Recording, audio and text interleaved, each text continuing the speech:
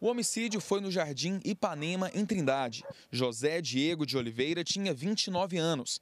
Segundo testemunhas, ele estava nesse bar que costumava frequentar quando um homem encapuzado chegou a pé e disparou mais de 10 tiros contra Diego e fugiu.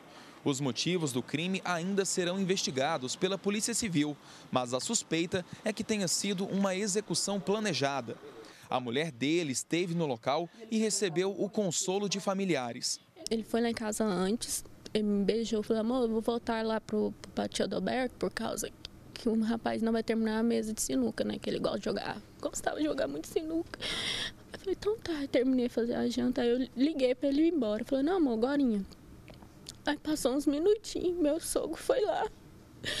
O padrasto do Diego foi lá em casa, bateu e falou que tinha falecido. O casal estava de viagem marcada para o Mato Grosso, onde ficariam na casa dos pais de Diego. Nós ia pro Mato Grosso. Eu e ele, dia 15, agora ele ia tirar a gaiola da perna, porque ele sofreu acidente. E agora ele tá caindo no chão. O local foi isolado e a polícia técnico-científica fez a análise da cena do crime. Segundo a perícia, foram encontradas no local 13 cápsulas de pistola 9mm, que é uma arma de uso restrito da polícia.